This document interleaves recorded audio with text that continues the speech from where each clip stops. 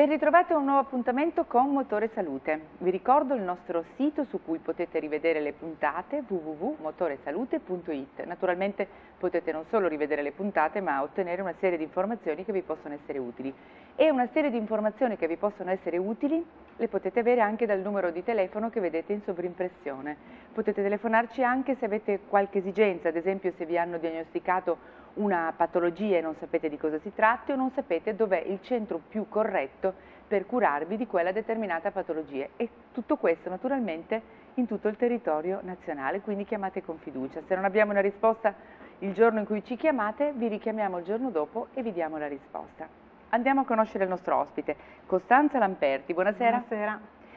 Neurologo dell'Istituto Neurologico Besta. Sì, effettivamente sì. Sono un neurologo e un ricercatore, in realtà faccio entrambe le cose. Ed è il motivo per cui è qua questa sera. Esatto. Voi avete mh, fatto una lunga e complessa ricerca che dimostra quanto, diciamo così, in via eh, empirica tutti pensavamo, ovvero che il movimento fisico fa bene alla muscolatura. Esattamente. E così potremmo alzarci, ma in realtà è un po' più complesso. esatto.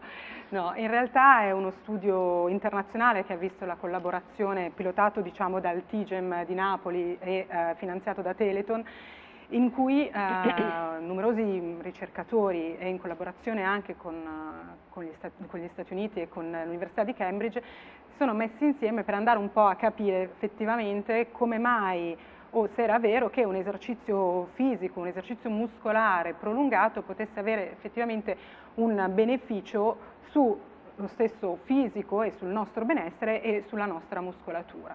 Questo attraverso una, una lunga collaborazione che ha visto esperimenti di diversa natura sia su in vivo che in vitro e eh, ci ha dimostrato come effettivamente il continuo stimolo della fibra muscolare eh, può attivare un fattore, che è questo fattore un po' nuovo ed innovativo che abbiamo identificato, che si chiama TFEB, che eh, permette l'attivazione un po' di tutti i nostri motori e di tutte le nostre vie metaboliche, favorendo eh, in questo modo eh, l'ulteriore rinforzamento della muscolatura, oltre che l'attivazione dei metabolismi e quindi anche di un corretto utilizzo dei grassi e degli zuccheri che insomma introduciamo con l'alimentazione. Allora approfondiamo perché il tema è ovviamente di enorme interesse per tutti noi. Mm. Eh, attività mh, fisica Importante che cosa significa? Quante volte a settimana, per quanto tempo e che tipo? Allora, lo studio ci dice che eh, l'allenamento deve esserci ma non deve essere eccessivo e lo sforzo non deve essere eccessivo. Diciamo che un allenamento medio con uno sforzo che si dice sotto massimale per mezz'ora, tre volte alla settimana può essere un buon tipo di allenamento. Eh, quindi che sia la ciclette, che sia il jogging, eh, può essere un, un, modo per stimolare i nostri muscoli, stimolare il nostro metabolismo senza però incorrere nel rischio di fare troppo esercizio, stimolare troppo e quindi attivare delle vie metaboliche che possono poi essere dannose. Allora andiamo a vedere Motore Salute TG con ehm, Elisa Masella, vediamo.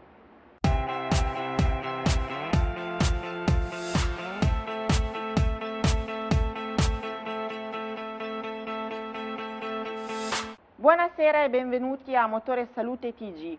Un bambino su quattro prende troppo sole. Nel corso della propria vita un bambino su quattro ha riportato scottature per la troppa esposizione solare. L'85% dei bambini infatti si protegge con creme solari, ma esiste ancora una fascia della popolazione tra il 15 e il 20% refrattaria a proteggersi con creme, magliette o cappellini. Nel corso di una conferenza stampa al MIUR sono stati diffusi i risultati della più grande campagna di prevenzione primaria contro il melanoma, che ha coinvolto 300 scuole di 11 regioni, circa 50.000 alunni e oltre 4.000 docenti, tutti con un unico obiettivo, insegnare le regole della fotoprotezione con attività didattiche svolte anche attraverso materiali cartacei e digitali della campagna. Il melanoma è il più aggressivo e temuto tumore della pelle, con un'incidenza più che raddoppiata negli ultimi 30 anni. In Italia sono oltre 100.000 le persone colpite e circa 13.000 i nuovi casi ogni anno. L'esposizione ai raggi UV del sole e delle fonti artificiali è il principale fattore di rischio. Inoltre il melanoma è sempre più frequente anche tra i giovani adulti di 20-30 anni di età, e ormai rappresenta il secondo tumore per incidenza nella popolazione maschile e il terzo in quella femminile al di sotto dei 50 anni. Morire di ignoranza. Anche l'analfabetismo medico-sanitario causa morti. Dalla metà degli anni 70 si è cominciato a studiare in che misura il grado di alfabetizzazione medico-sanitaria, cioè la capacità di capire e usare le informazioni pertinenti per prendere decisioni relative a comportamenti di cura, influenzi la salute delle persone.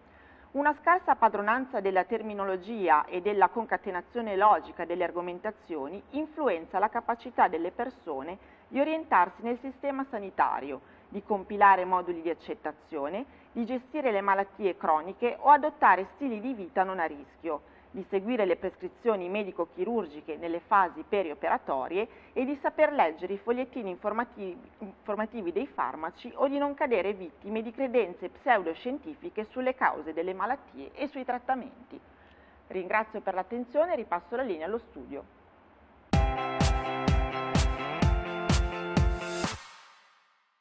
Rieccoci, allora abbiamo parlato di attività fisica, quanto è importante l'attività fisica. Vogliamo ancora ricordarlo, il vostro studio dimostra che l'attività fisica che beneficio dà alla nostra muscolatura, alle nostre cellule di fatto? Allora, eh, di fatto abbiamo scoperto che questo fattore che si chiama TFEB ha la, la, capacità di attivare delle vie metaboliche che sono sostanzialmente quella che ci permette di utilizzare i nostri grassi che noi introduciamo con l'alimentazione e gli zuccheri, quindi la via glicolitica e eh, la via metabolica ossidativa facendo sì che questo motore, che è il motore dei nostri muscoli, funzioni, funzioni meglio.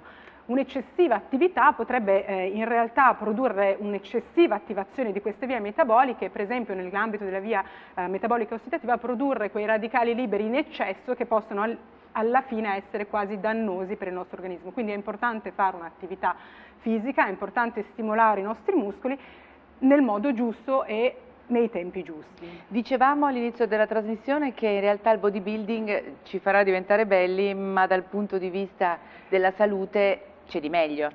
Assolutamente, nel senso che il bodybuilding è un tipo di esercizio che aumenta molto la nostra massa muscolare, quindi ci sentiamo magari più belli e più forti, pur tuttavia innanzitutto in primis rischia di sovraccaricare le nostre articolazioni, la nostra struttura e quindi provocare un successivo effettivo eh, danneggiamento in realtà e anche a livello della singola fibra muscolare in realtà può, come dicevo, stimolare troppo la via, eh, la via ossidativa e la via glicolitica e quindi metterci in un meccanismo che in realtà alla fine potrebbe diventare tossico.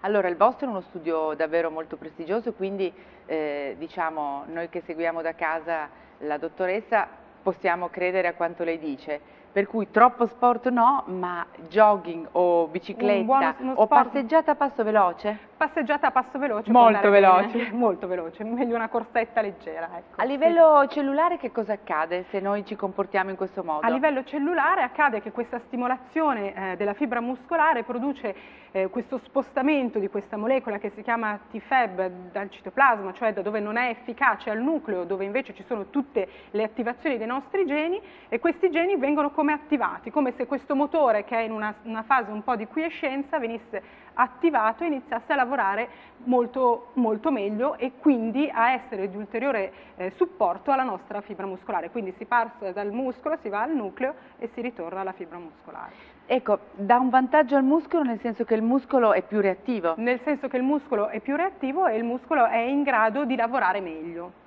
e quindi di sopportare poi meglio lo sforzo e quindi c'è un'abitudine nel tempo a fare esercizio e a sopportarlo meglio. Allora, andiamo a vedere la pillola del giorno con il dottor Claudio Zanoni, il nostro direttore scientifico. Vediamo.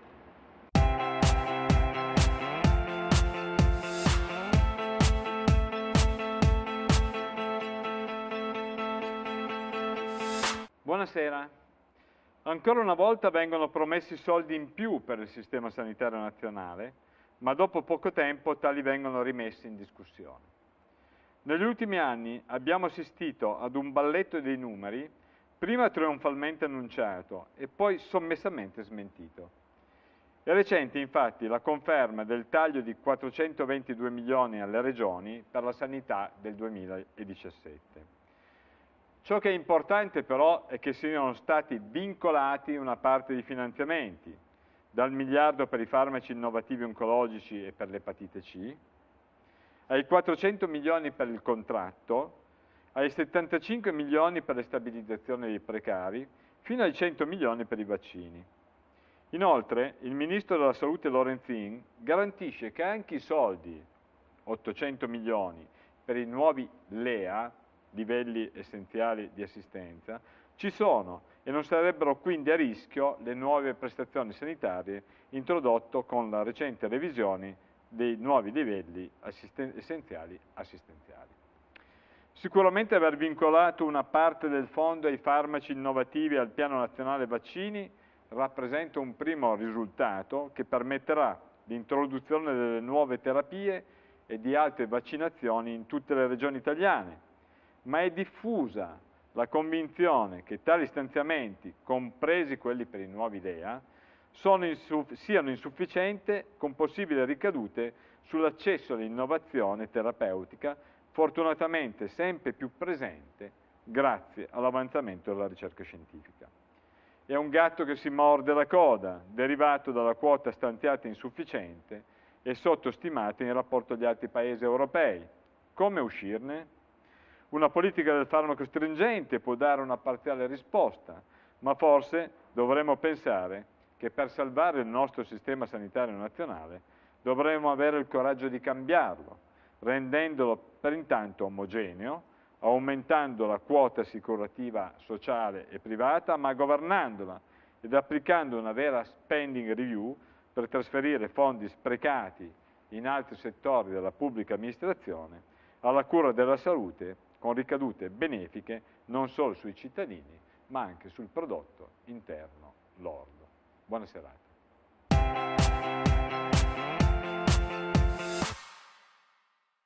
Allora, grazie al dottor Zanon. Allora, abbiamo visto quanto ci fa bene allenarci, che poi significa in pratica un po' di attività fisica qualche volta a settimana.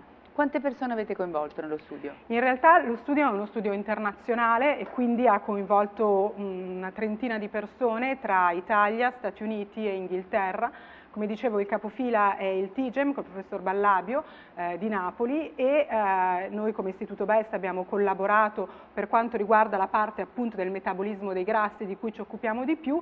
C'è una ampia collaborazione con l'Università di Cambridge e eh, con gli Stati Uniti l'Università del Texas, quindi eh, è uno studio molto ampio, internazionale, che è durato due o tre anni e che ha visto proprio l'utilizzo di diversissime metodiche e di diverse expertise proprio perché c'era la necessità di, di utilizzare sia il, magari il clinico, sia chi si occupa più di modellistica animali o chi si occupa più di metabolismo e di genetica. Quindi, Diciamo che è uno studio rivoluzionario, nel senso che dimostra quanto a buon senso già si immaginava. Esatto, diciamo che ci permette di eh, mettere un tassello in più dal punto di vista eh, scientifico e dal punto di vista del meccanismo de per, del perché alcune cose che in realtà a buon senso ci sembravano giuste in realtà lo sono davvero e quanto questo possa essere eh, utilizzato sia nella salute di tutti noi di tutti i giorni ma anche nella, nella salute di chi invece magari ha proprio problemi a livello dei muscoli o malattie di questo tipo.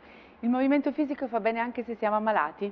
Il movimento fisico fa bene anche se siamo ammalati, il movimento fisico fa sicuramente bene se abbiamo delle malattie anche a livello muscolare, anche qui fatto sempre nel modo giusto, perché eh, questo studio dimostra che se anche un muscolo è un po' più debole perché è ammalato, Pur tuttavia questa stimolazione fatta nel modo giusto può rinforzare questo muscolo e permettergli di lavorare meglio in condizioni basali. A che età è necessario iniziare a fare attività fisica? Ma l'attività fisica si può iniziare a farla sempre, da quando si nasce. C'è da dire che quando si è piccolini la si fa da soli. Quando si è più grandi va fatta, va fatta sicuramente nell'età adolescenziale, va fatta soprattutto nella pubertà, proprio in quel momento in cui abbiamo uno scombussolamento ormonale, quindi abbiamo bisogno di fare questo tipo di attività va fatta sicuramente nell'età adulta, ma anche va continuata a fare nell'età avanzata, proprio perché eh, mantenere in esercizio questi muscoli in questo modo eh, permette ai muscoli di supportarci anche quando siamo ormai eh, magari un po' più grandicelli, insomma, e quindi facciamo più fatica. E se non abbiamo mai fatto attività fisica e stiamo guardando Motore Salute mm. questa sera e ci rendiamo conto che abbiamo 72 anni e abbiamo fatto una vita sedentaria, che consigliamo?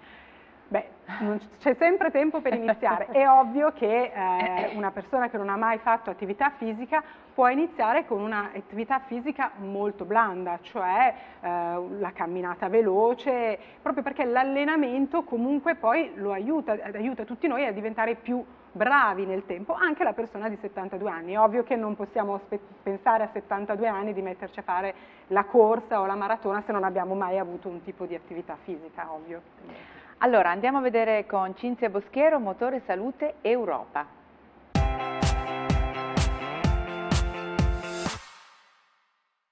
Benvenuti a Motore Salute Europa con notizie utili su normative, bandi e iniziative comunitarie. Il progetto Dosage rientra nella strategia europea per la disabilità che è in vigore fino al 2020. Noi abbiamo intervistato la dottoressa Covelli che fa parte del team che ha realizzato questo importante progetto. Sentiamo che cosa ci ha raccontato. Dottoressa Venusia Covelli, il progetto Dosage che cos'è? Il progetto Dosage è un progetto che è stato finanziato dalla Fondazione Legiane e aveva come obiettivo quello di eh, fornire una fotografia il più possibile esaustiva delle persone con sindrome di Down di oltre 45 anni. Quindi ci siamo focalizzati proprio su quello che è l'invecchiamento delle persone con sindrome di Down. È un progetto che è stato realizzato grazie alla collaborazione di ANFAS IPD ed è stato coordinato dall'Istituto Besta di Milano. Questo progetto ci ha consentito di eh, delineare più da vicino quali sono le caratteristiche di un anziano con sindrome di Down oggi e eh, i nostri risultati pongono eh, delle, eh, pone la base per delle riflessioni future proprio su quello che potrebbero essere le politiche di gestione dell'anzianità eh, di una persona con, con, sindrome di Down. E speriamo appunto che questi risultati possano portare alla progettazione di, eh, di, nuovi, eh, di nuovi progetti, di nuove azioni in collaborazione con le associazioni che da anni lavorano lavorano sul territorio proprio per eh, migliorare quello che è il durante noi e il dopo di noi. Di fatto questo progetto si focalizza molto su quello che è anche la progettazione del, eh, del loro futuro, quindi il, il, dopo di noi, tema eh, attualmente molto in, in dibattito in questi giorni. Grazie per averci seguito, alla prossima puntata. Ridò la linea alla cara Gioda.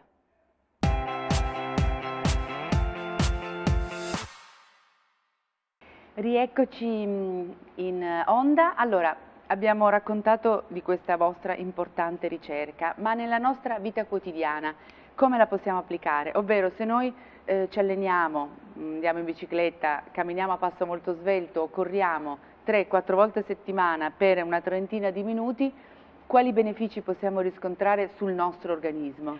Ma sicuramente i benefici sono molteplici. Uno è proprio sulla nostra eh, forza e sulla nostra eh, abitudine all'esercizio, che significa che eh, alcune attività che magari ci costavano più fatica, alcuni dolori, soprattutto nelle persone un po' più grandi, eh, con questo tipo di attività vengono diciamo, vengono attenuati proprio perché il nostro fisico, il nostro corpo è in allenamento e quindi è in grado di sopportare meglio questo tipo di, eh, di eventualità oltre al fatto che ovviamente ne ha beneficio un po' tutto, anche il nostro sistema cardiocircolatorio, anche la, anche la nostra mente se vogliamo. Quindi sicuramente eh, ci permette di eh, sentirci fisicamente meglio e quindi di poter affrontare meglio tutto quello che possono essere eh, la vita quotidiana sostanzialmente. E questo abbiamo detto a tutte le età. Mm. E facciamo la domanda opposta, se invece noi viviamo in maniera sedentaria, magari ci alimentiamo anche male mm. e non facciamo nemmeno i cinque passi che ci separano da casa alla fermata dell'autobus perché parcheggiamo l'automobile sotto l'ufficio e poi sotto casa, che capita? Beh, in questo caso ovviamente tutto questo meccanismo di autoalimentazione, cioè questo motore che ha bisogno comunque di essere sempre messo in movimento, si viene a fermare. E quindi in realtà qualsiasi tipo di piccolo sforzo, che sia la persona che a casa sposta il mobile o, o, cose, o la mamma che ha il bambino da tirare su e giù, provocherà sia una sintomatologia magari di tipo muscolare, quindi il classico doloretto, il dolore, la fatica, che ovviamente anche eh, un, un, sovraccarico sulle altre strutture e quindi il classico mal di schiena che purtroppo abbiamo tutti, sia giovani che vecchi, proprio perché la struttura muscolare che tiene eh, l'impalcatura del nostro corpo, quindi eh, le ossa, le articolazioni eccetera, viene un pochettino a calare, a calare di forza. E questo fa sì che poi ogni piccolo sforzo andando avanti nel tempo può accumulare fatica su tutte le strutture e quindi facilitare quello che poi si vede nelle persone magari più grandi che hanno, non hanno avuto un'attività fisica, le famose protrusioni discali, il dolore alla schiena, la sciatica, che invece con un allenamento di questo tipo probabilmente si riuscirebbe a prevenire. Abbiamo parlato di metabolismo dei grassi. Sì. Con questo tipo di attività fisica i grassi vengono consumati in maniera diversa? Diciamo che eh, i grassi in qualche modo eh, vengono consumati in maniera diversa perché c'è un'attivazione di quelle vie metaboliche che utilizzano proprio i grassi come benzina, è come se questo motore che noi abbiamo e che va a benzina venga eh, fatto lavorare meglio e quindi utilizziamo meglio quella benzina e quindi effettivamente a livello del metabolismo dei grassi si accelera un pochettino, si aumenta questo motore nella sua capacità di lavorare e quindi utilizza di più i grassi e li utilizza meglio. Allora, nel caso invece in cui ci alleniamo troppo, ovvero ci stiamo allenando per la maratona di New York eh, di novembre, se non erro, sì.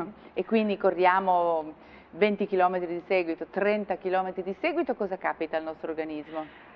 Come sempre è, è, tutto fatto da buon senso, nel senso è ovvio che se siamo un maratoneta e quindi abbiamo un'abitudine, questo nostro motore che dobbiamo proprio immaginare come un motore di una moto, è allenato a lavorare e quindi eh, sicuramente lavorerà bene. È ovvio che se il nostro motore eh, è quello di una, di una 500 e noi gli facciamo fare la pista della Ferrari, questo motore non andrà avanti e quindi si incepperà e quindi si accumuleranno queste sostanze tossiche che sono i radicali liberi e quindi farà fatica a lavorare e mh, ci saranno tutte quelle conseguenze dal dolore muscolare, il crampo, la mialgia eccetera che sono legate proprio al fatto che il nostro motore non ce la fa.